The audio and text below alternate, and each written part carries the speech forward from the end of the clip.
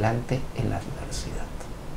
Está en nosotros la posibilidad de sobrellevar y vencer estas grandes fatalidades. Y por eso hoy en día es tan importante hablar de la resiliencia. Está aquí con nosotros una especialista en el tema, amiga mía, una mujer tremendamente competente, ya la van a escuchar, Roxana Dubrey, a quien yo doy la bienvenida. Hola Roxana, bienvenida. ¿Qué tal, Manuel? Bien. La primera pregunta es, ¿qué cosa es la resiliencia? La resiliencia es la capacidad del ser humano, o sea, eh, en realidad esto se habla desde la historia de la humanidad, no siempre se ha hablado de la capacidad del ser humano de sobrevivir. ¿no? Entonces, la resiliencia es la capacidad de una persona, una familia, una comunidad de enfrentar situaciones adversas y a pesar de eso sobreponerse a ellas y salir adelante. ¿no? Incluso algunas personas logran crecer emocionalmente en base a las dificultades que les toca vivir. Y este es un concepto que se está aplicando en psicología para personas, para familias, pero también se puede aplicar para una sociedad, un pueblo. Por supuesto. O sea, este es un término que en realidad viene de la física y se refiere a la capacidad de algunos metales que tú los pones al calor y se derriten, pero luego de un, los sacas del calor y vuelven a su estado original. Entonces, en base a eso, en los años 70 se comenzó a estudiar cómo así, o sea, es como una metáfora, ¿no? Cómo así algunas personas enfrentadas a fuertes dificultades en la vida lograban salir adelante. O sea, el mensaje es, es posible salir adelante. Por supuesto. Pero a veces nosotros los seres humanos no nos hemos dado cuenta de esta situación. Y esto está en la naturaleza. Ahora, ¿cómo se aplica esto en un contexto de fatalidad? Eh, a ver, o sea, lo, que plantean los estudios sobre resiliencia es que existen eh, algunos factores protectores, ¿no? Que son todas aquellas circunstancias del ambiente, así como de la persona, que van a ayudarlo a enfrentar la adversidad, ¿no? Eh, el principal factor protector en realidad es la capacidad, eh, es la posibilidad de haber contado en la infancia con vínculos emocionales estrechos, debido a que el ser humano nace en un estado de dependencia absoluta de otro, ¿no? O sea, un bebé, como decía Donald Winnicott, tú un bebé lo dejas y después de un par de días se muere, o sea, hay una dependencia absoluta. Entonces necesita de un vínculo eh, contenedor, de una madre que esté tranquila, ¿no? Y que pueda ofrecerle, satisfacer sus necesidades fisiológicas y emocionales. Ya, pero Roxana, en lo que tú dices, hay dos tipos, al menos dos tipos de vínculo. Está el vínculo protector o que puede fallar, o el vínculo que murió, que desapareció. Hubo un accidente, eh, hubo una guerra, eh, hubo una cosa terrible, dolorosa. Eh, un ejemplo que, que, se ve en la historia es el holocausto, etcétera, etcétera, y los niños quedan desamparados. Por supuesto. ¿Ok? Entonces, primero, ¿qué se hace cuando los vínculos paternos fallan? ¿Cómo entra ahí un esquema de resiliencia? Y segundo, ¿qué pasa cuando no hay parentalidad? Claro, o sea, no, no es que, o sea, incluso ahora hay estudios sobre resiliencia en niños hospitalizados o en niños huérfanos, ¿no?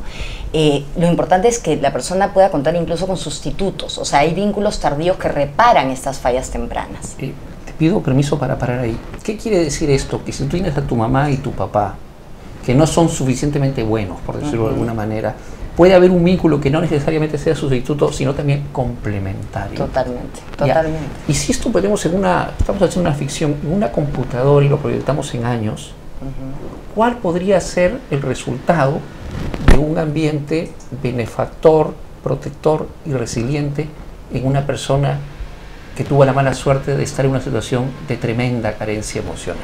O sea, eh, el tema es que no es que, o sea, lo ideal es que sean las figuras parentales las que se encarguen del niño, ¿no? O sea, el vínculo con la madre está desde que esté en el vientre, ¿no? Pero cuando no, esto, esto no es posible. O sea, no es que una persona solo es resiliente si tuvo una infancia buena y padres que lo protejan. Lo cierto es que hay muchísimos niños y muchísimas personas. Más bien ahí no hay resiliencia. No es que no haya resiliencia, también puede haber resiliencia porque los problemas pueden venir más adelante también, ¿no?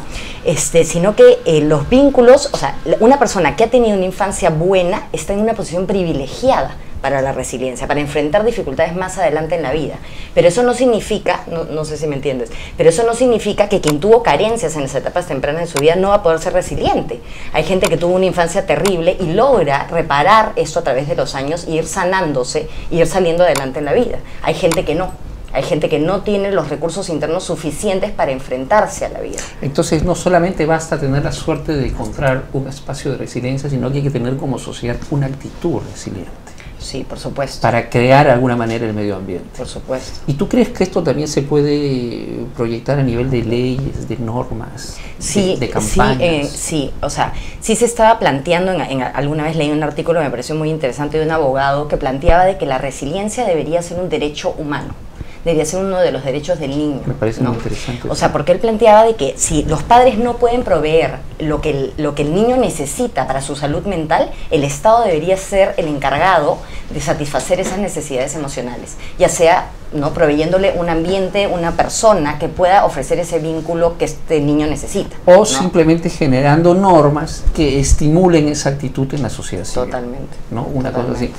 Estuvo aquí hace unos años Sirunik ¿Quién es el señor Cyrulnik? Es un francés o belga, no me acuerdo ya, eh, que siendo niño él estaba en, una, en un lugar muy grande que creo que era una iglesia, cuando en eso llegó el ejército nazi. Hola, muy buenas Se llevaron a todas las personas que estaban ahí, todos ellos judíos. Eh, el principal factor protector, zona que pueda ofrecer ese vínculo que, el ser humano puede vivir, nadie puede quitarle la posibilidad de elegir la actitud que toma ante las situaciones que le tocan. Yo personal, yo me quedé pensando muchísimo tiempo en eso.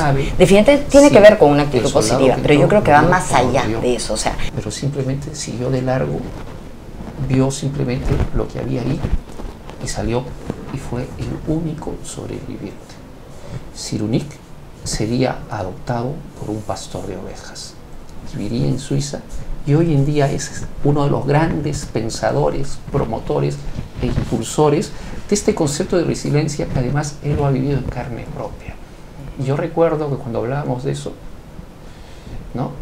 controlaba muy bien es, la metáfora más cercana que yo he visto de una persona que le lagrimea y se le enrojecen, se le enrojecen los ojos, pero en blanco. Mm. No sé cómo hacía, pero lloraba por dentro y se notaba que se aguantaba. ¿Tú nos puedes contar antes un poquito de esto, antes de entrar a tu libro?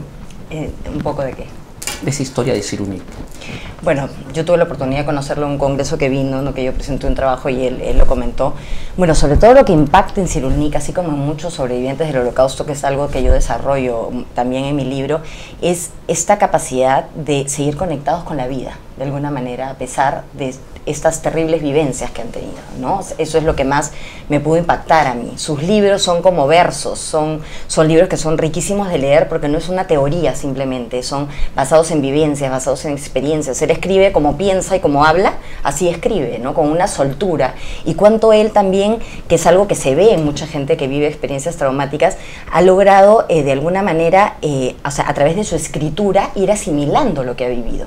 O sea, al, escribir es una manera de sublimar, o sea, canalizar positivamente este dolor y todo este sufrimiento que él ha vivido. Y al ayudar a otros con, todos, con, toda con, su ejemplo de vida y con todo lo que él ha escrito al respecto, es una manera de, eh, de alguna manera, de ayudar a los que no se pudieron, o sea, a todas aquellas personas que perecieron en el holocausto, por ejemplo. Ahora, ¿no?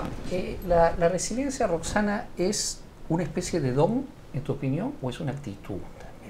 Mira, Víctor Frankel planteaba, o sea, mis, indagaciones sobre este tema comenzaron desde que estaba en la universidad, y comenzó mucho con un libro de Víctor Frankel, El sentido de la vida, y él planteaba ¿no? que incluso en las peores circunstancias que el ser humano puede vivir, nadie puede quitarle la posibilidad de elegir la actitud que toma ante las situaciones que le tocan vivir. Yo personal, yo me quedé pensando muchísimo tiempo en eso. Definitivamente tiene que ver con una actitud positiva, pero yo creo que va más allá de eso. O sea, para poder tener una actitud positiva hacen falta una serie de condiciones mínimas para que uno pueda tener una actitud positiva. Si solamente hay carencias, si solamente hay deprivación, si solamente hay un ambiente hostil y, y agresivo y se suceden una tras otra las adversidades, es muy difícil que uno pueda tener o sea, si uno nunca ha recibido ese cariño, por ejemplo, Cyrulnik, él fue adoptado por un pastor y recibió posteriormente un apoyo que lo ayudó a rescatar y sacar estos recursos internos que él tenía, ¿no? Que genéticamente probablemente O sea que aquí el entorno y el medio ambiente es fundamental porque no basta la pulsión de vida. Totalmente. ¿no? Digamos, la pulsión de vida puede fracasar si no hay condiciones. La pulsión de vida comienza a retroceder si uno está expuesto demasiado tiempo a situaciones muy adversas. Y sobre esto vamos a conversar en el segundo bloque, también sobre el libro de Roxana. Eh, vamos a una pausa y regresamos aquí en Conversando.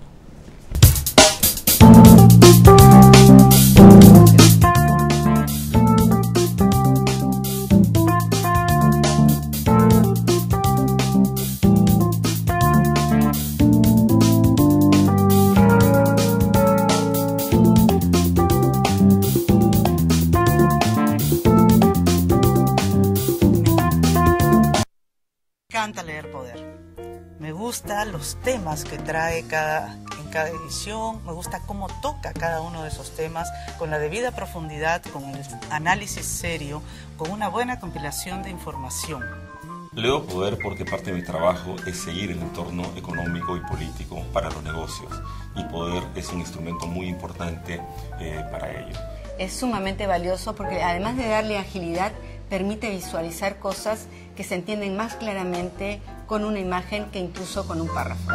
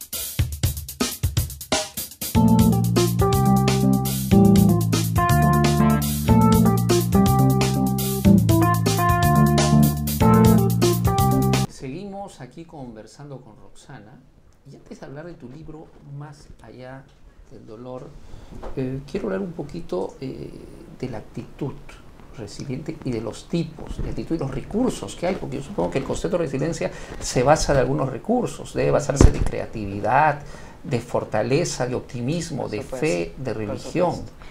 Te escucho. Sí. Algunos factores que son cruciales, en mi opinión, para, para, la resiliencia son la capacidad para vivir creativamente. Este es un concepto de Winnicott, pero es esencialmente un impulso hacia la salud. ¿no? Uno ve la creatividad, por ejemplo, que la gente de, de, pobreza extrema tiene para ingeniárselas y disfrutar con lo poco que tienen. O en los sobrevivientes del holocausto, volviendo nuevamente al tema, algunos tenían una creatividad increíble para salir adelante, para encontrar algunos disfrutes en medio de ese horror que estaban viviendo. ¿no? Y me parece extraordinario. Ahora una pregunta, la actitud resiliente desde la metáfora, hablo desde la metáfora, ¿te hace más inteligente al final? No sé si te hace más inteligente, lo importante es, es que la persona logre... Pero te da más manejo de vida, ¿no? Obviamente, obviamente, o sea, yo sí creo, por ejemplo, ¿no? Algo que me parece bien interesante es que yo sí creo que mucho, bueno, no es que sean muy inteligentes necesariamente, pero sí pienso que muchos psicólogos, psicoterapeutas, personas dedicadas a la salud mental son personas resilientes. Es gente que ha vivido experiencias difíciles en la vida y que van a través del estudio, de, a través del estudio, a través del ejercicio de su función, al ayudar a otros, siguen resolviendo y reparando sus propias vivencias. No sé por qué me da la impresión que estás hablando de mí. Estamos hablando de todo, creo. Este es el libro que ha escrito Roxana, Más allá del dolor bueno, y el título es trastornador. Dolor de sociedad, dolor conyugal, dolor humano, dolor de niño, dolor de familia, dolor ante la vida, dolor inentendible. ¿no? ¿De qué tipo de dolor estamos hablando? De todo tipo de dolor, ¿no? Desde gente que sufre de padres adictos, violencia familiar, pérdida temprana de seres queridos, hasta experiencias ya mucho más traumáticas, como las que estamos hablando del holocausto o del conflicto armado interno. Pero yo no que, quería dejar de, nombrar algunas cosas que son importantes para la resiliencia. Estábamos hablando antes de creatividad, ¿no? De esta capacidad para vivir creativamente, que había un autor que decía que es como la capacidad de encontrar las condiciones de satisfacción en el mundo, ¿no? Así como eso es importante, es importante que la persona tenga la capacidad para encontrarle sentido a la vida a pesar de la circunstancia en la que se encuentre. Como en la terapia, a veces una metáfora o una asociación incluso equivocada, si para el paciente, si al paciente le hace sentido, es una vía de Exactamente, pero la gente cuando se ve expuesta a cosas muy difíciles llega a sentir que la vida no tiene necesariamente sentido y comienza a cuestionarse, hay estos cuestionamientos existenciales. Entonces es súper importante que logre encontrar un sentido a la vida. Por otro lado, la espiritualidad, lo que puede ayudar la religión a muchas personas es su fuente de soporte que les ayuda a enfrentar las adversidades. Primo Levi decía una cosita, una frase importantísima, los no agnósticos, los creyentes en cualquier credo, lo que incluso los creyentes en ciertas ideas políticas, ¿no? soportaron mejor que la mayoría los, los, que proyectan en algo su capacidad final de ser optimistas. Exactamente. Ahora, algunos colegas nuestros ironizan los libros de autoestima estos que los venden en Aramburú, en la puerta de los supermercados, etcétera. Pero para la gente que los lee, esto es importante, esto es transformador, esto es resiliencia. Sí, claro que sí. O sea, cualquier cosa que a la persona le ayude a salir adelante, a vivir mejor y a poder disfrutar de la vida sobre todo, es positivo. ¿no? Hay gente que se mete a la iglesia evangélica y eso le cambia la vida. Eh, eh, Roxana, eh, quisiera pasar a otro tema. Mira, cuando yo estuve en Jerusalén, yo fui a ver el Museo del Holocausto. Y el Museo del Holocausto eran cuatro velas con un montón de espejos que se proyectaban y que parecían 5 millones de velas. Fue una cosa impresionante porque se siente energía, el dolor. El duelo es como entrar a una entraña viva de dolor y pasear por ella, una cosa fuertísima. Y por la tarde fui a ver el Museo de Arte Moderno, ¿no? que es un museo extraordinario donde está todo el pueblo judío en la historia a través de sus obras de arte. Estaba Van Gogh, Pizarro, un montón de gente realmente extraordinaria. Y uno se queda impactado, pero el pueblo judío fue duramente golpeado en la historia. ¿Cómo se aplica aquí la resiliencia, tú que además has trabajado el tema? Eh, bueno, o sea, es todo un capítulo, ¿no? Pero definitivamente hay ciertos factores que ayudaron a estas personas, algunas a salir adelante. O sea, se ha hablado muchísimo respecto al holocausto eh, y muchísimo sobre las, o sea, el daño que esto generó psíquica, física y emocionalmente a estas personas, pero se ha hablado poco respecto a la admirable creatividad y capacidad y fortaleza que muchos tuvieron para enfrentar este dolor. Entonces, esa ha sido un poco mi idea, rescatar esto. Hay un libro de Bruno Bettelheim que se llama Sobrevivir, que en realidad es un libro sobre resiliencia. Obviamente en su época no existía el, término, o sea, el, concepto de resiliencia asociado a la psicología, pero donde él plantea ciertos recursos que a él lo ayudaron a sobrevivir. ¿no? Él, por ejemplo, habla de cómo él se refugió en su mundo interno. O sea, él como era psicólogo y era psicoanalista, es más, él lo que hacía era durante estos trabajos intentar en todo momento estar analizando sus reacciones emocionales y las de los demás para sobrevivir, ¿no? Entonces se refugió en su mundo interno. Eh, esto lo ayudó muchísimo. Él habla de cómo eh, ha sido tan importante para muchos el seguir conectados de alguna manera con sus sentimientos y emociones, porque el que a pesar de lo doloroso que esto fuera, ¿no? La mayoría bloqueaba lo que, muchísimos bloqueaban lo que sentían, pero el que tenía la capacidad para poder sentir lo que estaba viviendo, siquiera por momentos, tenía mayor fortaleza, o sea, no, no, no, no se convirtió en un muerto en vida. Esta escena del holocausto, de esta gente caminando como unas calaveras, como unos muertos en vida, ¿no? Es lo opuesto a esta posibilidad de de alguna manera ir rescatando no ahora es un ejemplo de creatividad y de salir adelante en la universidad a mí me parece que eso representa esencialmente la comunidad el pueblo eh, judío. ¿por qué ellos pudieron hacerlo así y otros otras sociedades no necesariamente? Por, a ver, eh, ahí, hay, hay, muchos temas, ¿no? Por ejemplo, hoy, si bien el apoyo recibido mientras ellos estaban internados, del apoyo del mundo, fue muy escaso, hoy en día las sobrevivientes del holocausto tienen el respeto de la humanidad. Hoy en día, incluso hoy en día, se siguen haciendo museos, homenajes, o sea, recordatorios de este evento para que no se repita. A diferencia, lamentablemente, de lo que sucede en nuestro país, que con lo que ha sucedido, ya, o sea, hace más de 60 años fue lo del holocausto. Y ya, o sea, y sigue habiendo esto. O sea, en Berlín cada semana hay más o menos un monumento nuevo. En cambio, eh, en el Perú la gente ya quiere olvidar pocos años después. Igual las madres de Plaza de Mayo siguen reuniéndose y siguen expresando su, su, pesar por todos los desaparecidos. En cambio en el Perú, por ejemplo, lamentablemente con lo que pasó en el conflicto armado, se quiere ya echar tirrita, ya no pasó nada, ¿no? Es, eso es complicado. Ahora, son ejemplos distintos de reacción y de resiliencia, el del pueblo judío y el del ande peruano, por decirlo de alguna manera. Ejemplos distintos, sí, mucho por las condiciones, porque como te digo, o sea, los sobrevivientes del holocausto, muchos pudieron, hubo un antes y un después, salieron de ahí y muchos pudieron reencontrarse con sus seres queridos. A nosotros los peruanos es más difícil por muchos factores. Por ejemplo, algo que es súper importante es eh, que o sea, en realidad, en el, caso del conflicto peruano, hubo tres frentes. O sea, en un inicio, los mismos campesinos se unieron a Sendero, ¿no? Entonces, hubieron tres frentes. Los mismos campesinos que se comenzaron a matar entre sí, los senderistas y los militares. Entonces, ¿qué sucede? Que hoy en día esta gente sigue, ya acabó el conflicto, pero sigue, sigue eh, conviviendo con ex simpatizantes de sendero, viudas, eh, gente que mató, mató a sus padres y que tiene impunidad incluso. Y yo me pregunto, Roxana, y no te pido una respuesta porque el tema es muy complicado, a partir de lo que tú dices, si después de la conquista el Perú tuvo capacidad de ser resiliente o se quedó ahí eh, como estancado. Pero el Perú sí es un país, o sea, muy pujante.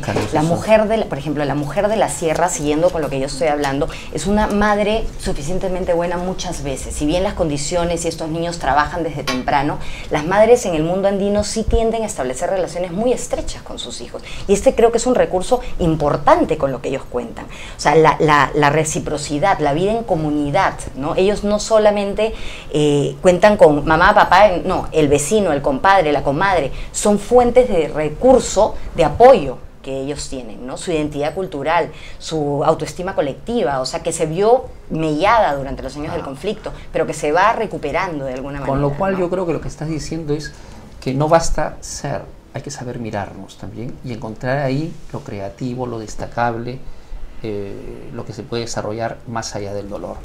Roxana, cuéntanos un poco de tu libro en estos minutos que nos quedan.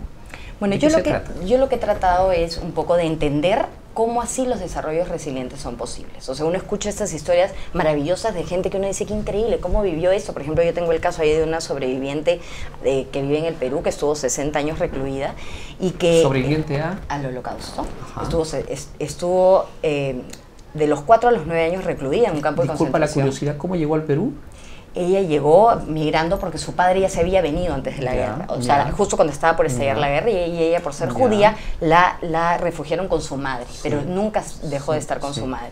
Entonces, eh, bueno, uno ve estos casos y uno dice, o sea, yo, yo leía todos estos casos y yo, decía, ya, ok, pero ¿cómo así esta gente logró, o sea, esta señora de la que yo hablo, tiene una capacidad de conexión con la vida, una capacidad de recuperar lo bueno que tiene, ella se, pasa, se pasea por colegios dando testimonios, o sea, muy conectada con la vida y rescatando lo que ella ha vivido, ¿no? Este, Como que no, eh, se, no se quedó pegada al dolor. Totalmente. Sino que lo sublimó y más bien ejerció el optimismo en la vida a pesar de, y eso es. Exactamente. Entonces lo que yo he tratado de hacer en mi libro es entender qué es lo que va a permitir la resiliencia.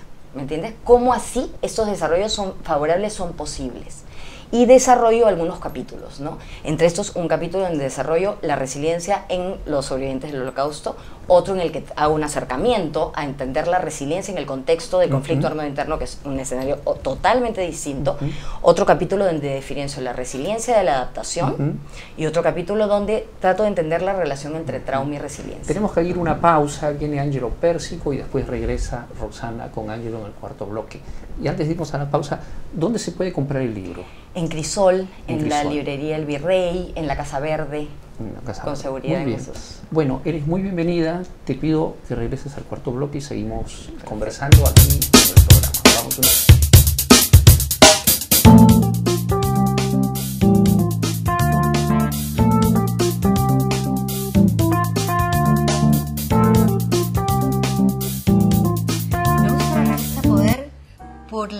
calidad de los análisis que tiene.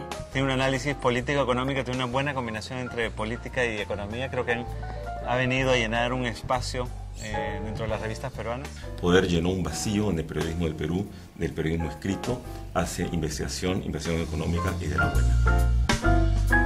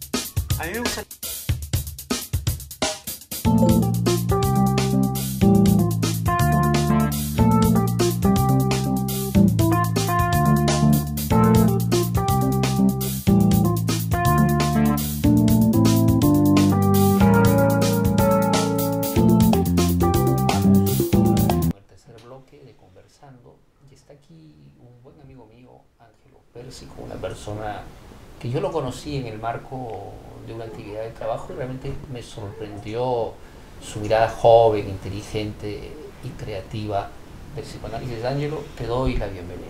Te agradezco mucho, Manuel, siempre encantado de acompañarte en tus proyectos y bueno, gracias por haberme invitado aquí a, tu programa. Ángelo y yo además hemos hecho radio juntos un par de veces y salió realmente muy bien. Sí, muy, sí, sí, sí, sí. espero que la mm. entrevista igual. Vamos a ver, vamos a ver. Escúchame, Ángelo. Una persona me pregunta a mí hace un tiempo, ¿qué es eso de, del inconsciente? ¿Es un túnel que va bajo tierra? Me dice, ¿es subconsciente? ¿Existe? Pero esta persona bien inteligente me hizo una pregunta bien complicada. ¿Por qué? O no existe y es una metáfora. Entonces yo te quiero pasar la pregunta de ti, ¿qué es el inconsciente?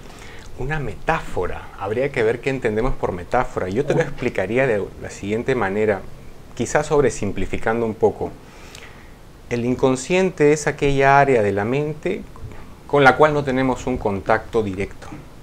Se puede, yo creo, acceder al inconsciente, esa parte que no conectamos con nosotros eh, directamente, a través de otras vías generalmente. El psicoanálisis ha tratado mucho del tema, desde incluso Freud también, eh, las vías regias al inconsciente, los sueños, los actos fallidos, y en general eh, es propone diversas técnicas, incluso curativas, para acceder a este inconsciente y realizar alguna cura. O sea que el inconsciente sería como un segundo sótano que está ahí, que no sabemos qué pasa, pero que sabemos que está ahí y que algo hace sentido. Bajo ciertas concepciones, sí. Bajo, ciertas concepciones. Porque hay otras concepciones. Sí, definitivamente. Eh, de la que hemos hablado al principio es una concepción individual del inconsciente. Te pido permiso para interrumpir. Por favor. Hellinger, por ejemplo, ha colocado el concepto de alma ¿Qué es el alma? El alma es el inconsciente de las relaciones personales más cercanas, papá, mamá, hijos, hermanos, amantes, los mejores amigos, gente de importancia, y dice que todo esto tiene una implicancia psicológica en el movimiento y la dinámica del grupo, individualmente la gente. Esto es una forma de inconsciente para él, pero le ha puesto alma. ¿Cómo es desde tu óptica, Angelo, un inconsciente grupal? Yo creo que el inconsciente grupal es aquello que une a grupos humanos, ya sea desde que lo veamos desde un punto de vista más universal hasta más, digamos, de pueblo o de más de grupo, más de familia. Yo sí creo que hay algo que se comparte y se transmite y se interconecta. De modo que no solamente podemos hablar, yo creo, de un inconsciente solo personal. Sí lo existe, yo sí creo, trabajo con él, pero también creo que existe una forma compartida de este inconsciente. Ángelo, ¿existirá un inconsciente transgeneracional?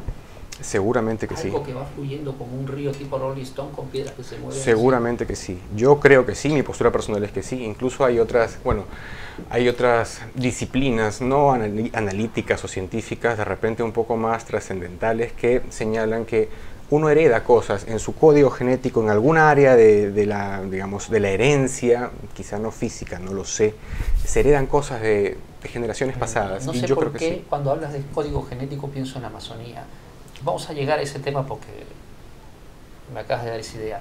Pero antes vamos de a poco. Muy bien. puedes llegar al inconsciente de una persona a través del arte? Por supuesto. ¿Y puedes llegar a través de una asociación libre? También. ¿Puedes explicarnos esto? Por supuesto, yo creo que el inconsciente se expresa en absolutamente todo lo que hacemos, quizá incluso nuestras posturas corporales ahora, nuestra forma de mirar, nuestra forma de interrelacionarnos está muy ligada a nuestro inconsciente.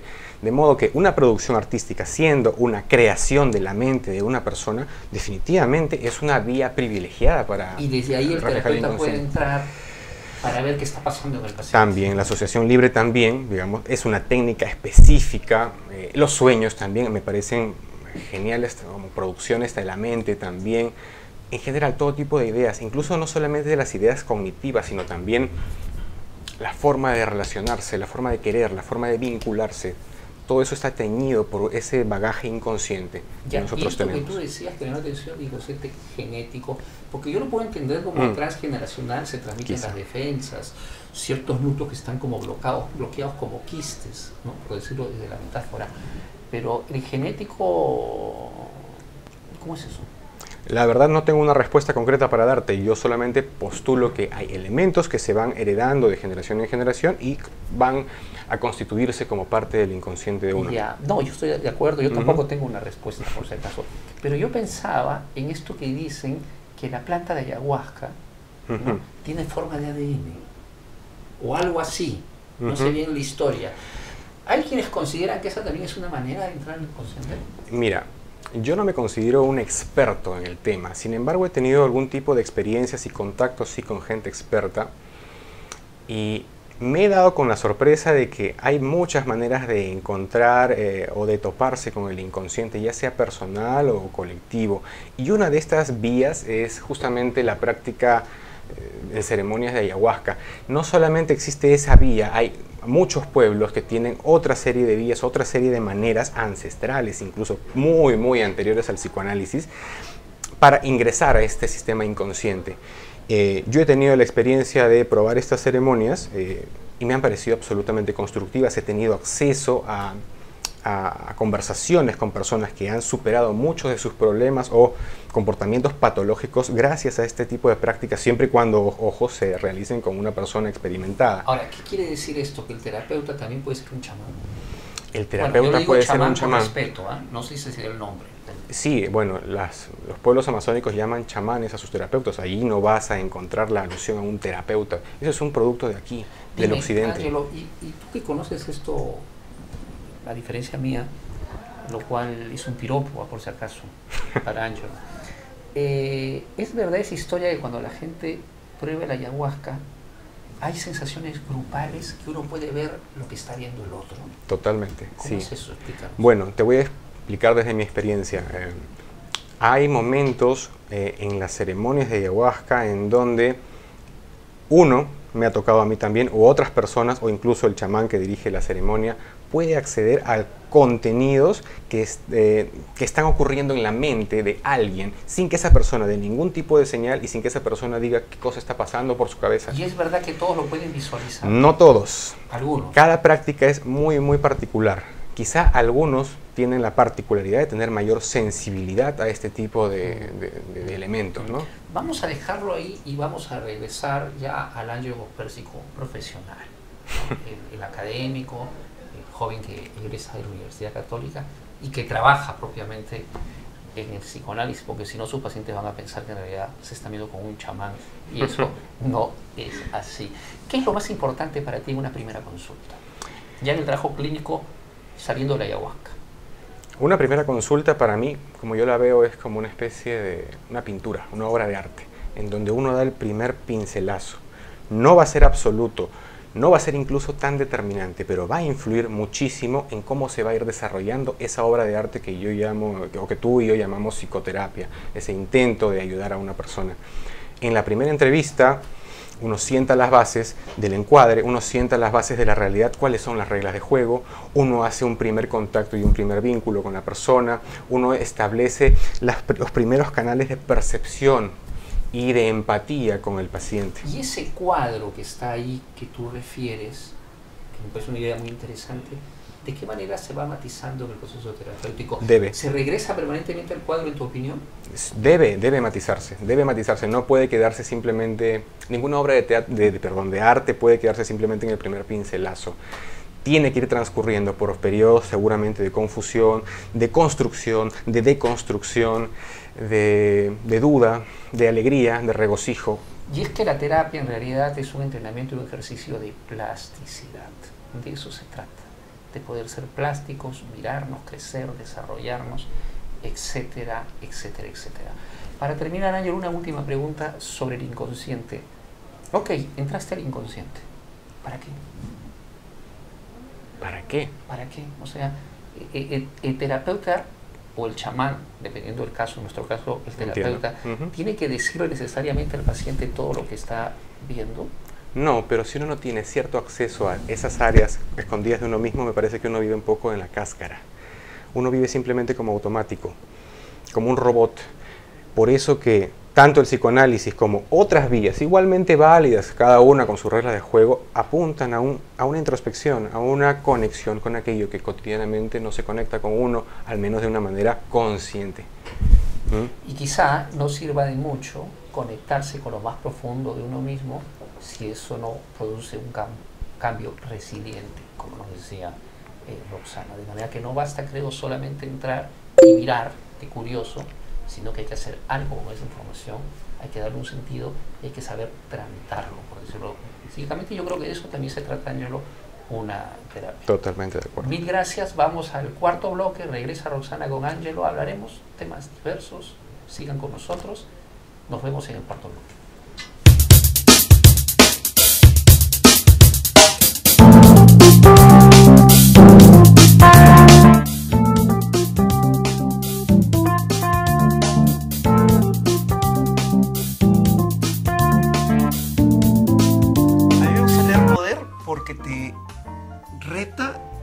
Te incomoda con inteligencia y con estilo. Leo la revista Poder desde su primer número hace ya justamente tres años, porque es una revista indispensable en la formación de todos quienes queremos entender lo que pasa en el Perú. Es creativa, es inteligente y tiene rigor. Y eso para mí es el periodismo que me gusta y por eso leo Poder.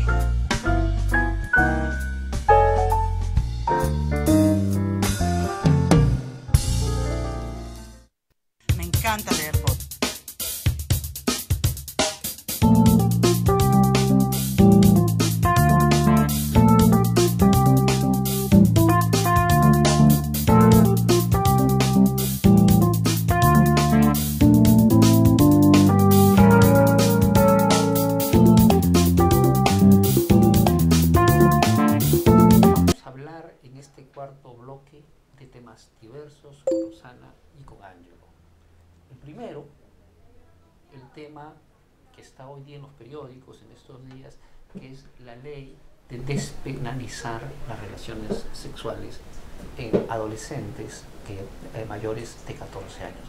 Pero antes de pedirles su opinión, vamos a ver una encuesta, porque la Mola TV ha salido a la calle y ha entrevistado a gente sobre esto. ¿Qué piensa la gente sobre el tema? Vamos, Luis.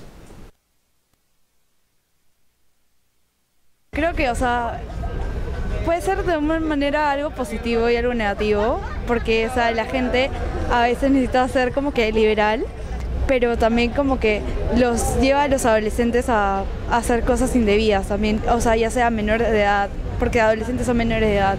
Entonces, como que más me parece algo negativo que algo positivo. porque no, no tendríamos por qué discriminar ningún tipo de, de decisión que los adolescentes tengan y respetar es, es en, en- en el, ¿cómo se llama? la manera de pensar. No, no estoy enterado sobre el tema tampoco. Eh, Las relaciones sexuales son como una decisión libre y depende netamente pues de los factores esenciales que influyen en el crecimiento de las personas y de acuerdo a la, al ambiente que han crecido. Entonces, sí, estoy de acuerdo porque yo creo que cada uno debe ser como que consciente de sus actos, ¿no? Lo la única alternativa sería una eh, educación sexual que sea adecuada para la edad de los, de los chicos y nada más. Está, está correcto que hagan eso. Por lo mismo que los adolescentes deben de ser responsables con ellos, con su sexualidad, ¿no? Si ellos quieren hacer lo que quieran, que lo hagan, pero que se cuiden. No quiero ver más chiquitos corriendo por ahí. Estoy en desacuerdo, porque pueden utilizarlo de mala manera. Muestro un interés frente a la adolescencia en tener una libre libertad sexual, en la que yo opino que debe estar, mm, que no debería ser penalizada, porque así como los adultos y los adolescentes tienen un mismo índice de, de sexo, en la que libremente pueden optar si hacerlo o no.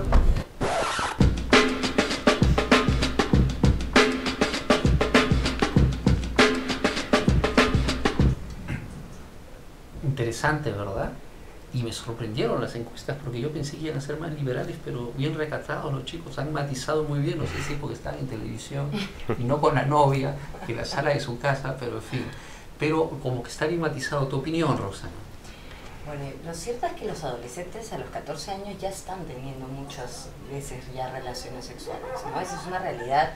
eh, cada vez están teniendo relaciones más temprano. Es una ¿no? realidad concreta. Es una realidad concreta, que la sexualidad es parte de la vida, que la sexualidad es parte de la naturaleza humana y que si bien definitivamente el problema de que tengan relaciones tan tempranas es la posibilidad de salir embarazada, porque una chica de 14 años puede tener relaciones O de sexuales. infectarse. ¿no? Exactamente, pero no está preparada para ser madre, eso sí definitivamente. ¿no? Entonces yo sí creo que es una ley muy interesante eh, aplicar, eh, pero tiene que ir de la mano de una mayor apertura al control natal, O sea, ahí está, ahí está A la educación a sexual. la educación sexual y hay, hay toda esta prohibición, mucho de la iglesia también, ¿no? De, de difundir más el uso de preservativos y el uso de métodos anticonceptivos. Entonces, hay como, ¿no? Hay dos cosas que no están yendo de la mano, ¿no? Sí. Ahora, vamos con Ángelo. Yo creo que es bien polémico porque en todo caso la realidad peruana comprende casos en los cuales, por ejemplo, hay una chica de 14 con alguien de 18 en la sierra y tienen un hogar, tienen, se han juntado a esa edad y no pueden acceder a servicios públicos de salud porque si no, eh, eh, la pareja va presa. Y entonces es terrible. Sin embargo, en, en contextos más occidentales, en Lima, un chico de 18 años puede seducir a una chica de 14 y no pasa nada. Puede acostarse con una chica de 14 y no pasa nada. Yo creo que es bien complicado, es bien complicado. Y en todo caso, no sé si la ley eh, está completamente regulada y habría que hacer esfuerzos muy, muy exhaustivos para delimitar, primeramente, en qué rango de edad colocamos la prohibición y en segundo lugar, eh, entender que un adolescente puede tener relaciones sexuales, pero tiene que ser con iguales. Una relación sexual me parece a mí que es saludable siempre y cuando se da entre dos personas que comparten el mismo nivel eh, de estatus generacional. O sea, un adolescente con un adulto no es lo mismo. Dos adolescentes sí. Claro, por supuesto, estoy totalmente de acuerdo, pero una chica de 14 años, las mujeres tienden muchas veces a ser un poco incluso más maduras. Una chica de 14 con un chico de 18, emocionalmente hablando, no es una diferencia tan radical. Si estamos hablando de una chica de 14 con un chico de 28, ahí sí puede haber una seducción y puede haber una sexualización de esta y- chica y no que solamente, distinto. ¿no? no solamente eso, Rosana Angelo, sino que además el derecho ha previsto esa figura ya como una forma de, de violación, ¿no? de, de- de- de una seducción eh, Y que se va a manipuladora, cárcel 25 forzada, años. etcétera, etcétera. De manera que yo creo que tu precisión es muy adecuada. ¿De qué estamos hablando? Porque esto autoriza, de comillas autoriza, faculta a una chica de 14 años a acostarse con un hombre de 30. Mm. Por eso, es- es- Sí. esa es la ¿no? diferencia. Ahora, ¿no? pero si fueras ese plan de dos adolescentes, 16 y 14, que no han vivido felizmente la experiencia de 40-20, Pero no hay 16 problema porque 14, nadie va a ir a la cárcel, ¿no? Pero 14 y 18, es- Ya. ese es, ese es el- lo que está ahorita en cuestión. Ya, ahora, ¿cómo impacta esto en los padres de familia en líneas generales? Yo creo que les, les coloca una labor de mayor exigencia educativa, porque ya no está simplemente la norma que sanciona, que te coge de un poco del cuello y te obliga, sino que si es que hay algún tipo mayor de apertura, el papá va a tener que poner un poco más de esfuerzo en educar a sus hijos y en brindarles herramientas para que se cuiden, disciernan y sepan discriminar cuándo deben o no eh, empezar su vida sexual. Oh, disculpa un ratito, Eh, me alegra lo que dice Ángelo porque el mensaje que se está mostrando es que no solamente es liberal como el ayahuasca, también es ordenador, conservador y bien normativo, Ángelo. ¿eh? No, a mí algo que me parece importante es que hoy en día la, la gente tiene hijos mucho mayor. Entonces la diferencia generacional entre los hijos y los padres es muchísimo mayor. Muchas veces hay 30, 35 años de diferencia entre los hijos y los padres. Y eso genera de que un padre de sesenta y tantos años con un, un padre de no sé, 50 años con una hija de 14, ¿no? Obviamente la diferencia generacional, o sea, la sexualidad ha ido cambiando a través de los años. Y eso hace que también un padre de 50 se escandalice de que una niña de 14 tenga relaciones sexuales. Ya, ahora, los padres de 35, 36, 37 años están más preparados, le pregunto a los dos, para aceptar la posibilidad de que sus hijos vivan experiencias sexuales Sí. a edad casi preadolescente. Pero yo pienso que sí, pero la, la- la diferencia es que los de 35 tienen hijos de 5 hoy en día, no tienen hijos de 14, la mayoría. Ahora, ahora, Manuel, no solamente es la edad, yo creo que también hay un tema de cómo experimentó el propio padre su sexualidad. Yo creo que es el- al padre que ve que su hijo está teniendo alguna iniciación Mm. sexual, se le van a remover cosas de cómo él inició su vida sexual. Impacta en la familia todo esto.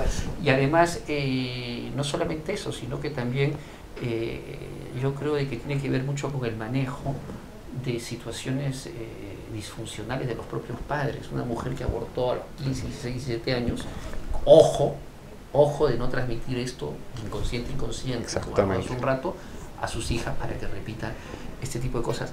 Vamos a hablar más, más de esto. En la Mula TV viene nuevamente el Víctor Andrés García Belaúnde, el hijo, el filósofo y especialista en ética. Va a venir posiblemente el padre Pablo para desarrollar estos temas. Y ahora yo quiero aprovechar la presencia de ustedes para hablar de otros temas ya vinculados más a nuestra profesión. ¿Las historias de los pacientes se quedan en ustedes para toda la vida? ¿O se van con ellos? A los dos. A los tres yo tengo mi opinión. Definitivamente uno aprende muchísimo de los pacientes, ¿no? Yo creo que también, siguiendo lo que estamos hablando ahorita, depende de el vínculo que se establece con cada paciente. ¿No? Y hay pacientes que van a tener historias parecidas a las tuyas, porque es curioso que muchas veces te llegan pacientes que por esos motivos inconscientes te mandan pacientes que tienen historias o tienen rasgos parecidos a los tuyos, ¿no? Entonces hay pacientes que sí te va, con esas historias te quedas y hay gente de la cual para mí yo aprendo cada día de mis pacientes. Y son como historias que habitan en el preconsciente y también en el inconsciente y uno, uno lo acompaña mucho tiempo. Y el terapeuta también tiene que saber diferenciar qué es lo suyo y qué es de los demás y también saber alimentarse como en cualquier vínculo. ¿Cuál es tu opinión, Angelo? Yo creo que respondiendo a tu primera pregunta, definitivamente se quedan con uno, pero tiene que quedarse de una manera digerida. No puede quedarse como un elemento extraño si toca cosas de uno, si, bueno, uno con el paciente en consulta también experimenta sensaciones eh, muy intensas, sentimientos del otro muy fuertes, sentimientos de uno mismo, siempre y cuando estén bien integrados a uno, me parece que son muy constructivos. No deberían irse, yo creo que como, como dice Roxana, aporta un crecimiento intelectual y psíquico muy importante.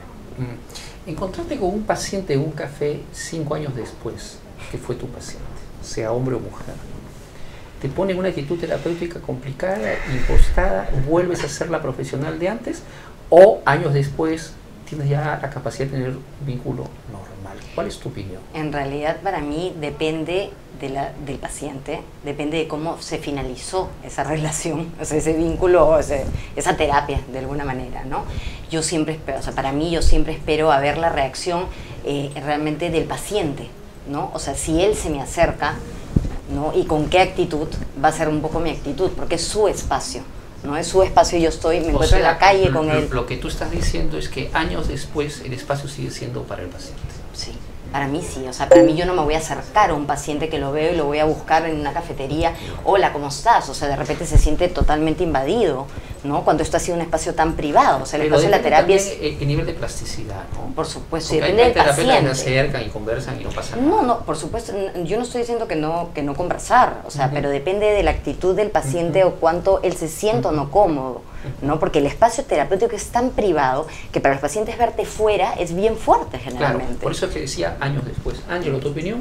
Años después, bueno, yo creo que bueno, nunca me acercaría a conversar personalmente. No, nos saludaríamos con mucha cordialidad, finalmente hemos establecido un vínculo humano, pero con ciertos roles y ciertas características que a pesar de que haya pasado el tiempo, no van a devenir luego una conversación que puede ser de amigos. Eso sería, yo sí creo, confundirlo. Mm. confundirlo a Aún si pasaron 10 años Yo después. creo que sí. O sea que toda persona que es paciente tuyo queda, entre comillas, condenada a no ser amiga tuya o amigo tuyo. No sé si condenada, pero la regla Tiene de la suerte, ¿no? Tendría la suerte de no ser mi amigo. No, posiblemente, posiblemente. Sí, sí.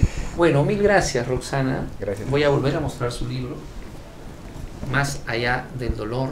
Obviamente es un placer hablar contigo y tenerte aquí en la Mula TV. Gracias. Y mil gracias, Ángelo. Y bueno, nos volvemos a ver. Te llamo Por cualquier supuesto, día, cuando tú quieras, radio, Manuel. Me acompañas. Por supuesto. ¿Ok? Genial. Ahora sí, ya no hay pausa. Acaba el programa. Hoy es viernes por la noche. Roxana, no te olvides de colgarlo en tu face. Ángelo, cuélgalo en el face. Ayúdenos, por favor, si están viendo el programa, a difundir. Es un programa de televisión digital. Vive entre las redes, se difunde por ahí. Y para nosotros que usted ponga me gusta o que lo ponga en su muro y que lo comparta es esencial.